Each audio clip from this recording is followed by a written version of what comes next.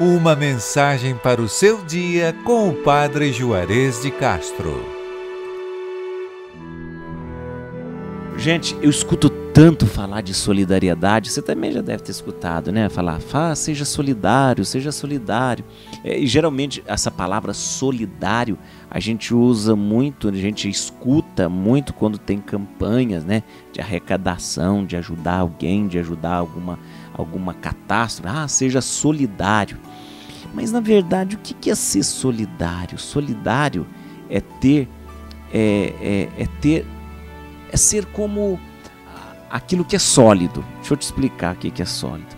Dizem, né? Dizem que, é, dizem, a, a química né, nos ensina, né, a, e a física também nos ensina que os átomos, quando eles estão juntinhos, juntinhos, juntinhos, eles formam uma uh, eles formam aquilo que é sólido, uma matéria sólida.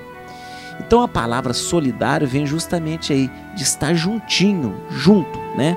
Aquilo que é sólido é porque os átomos estão juntos. Então olha que interessante, ser solidário é estar junto com o outro.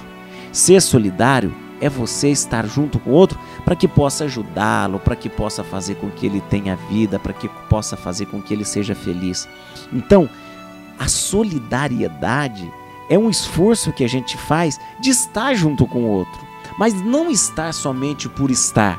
Estar junto com o outro para que o outro possa ser feliz, para que o outro possa ter o alimento que precisa, para que o outro possa ter o entusiasmo que precisa, para que o outro possa ter as coisas que precisa, para que ele seja feliz.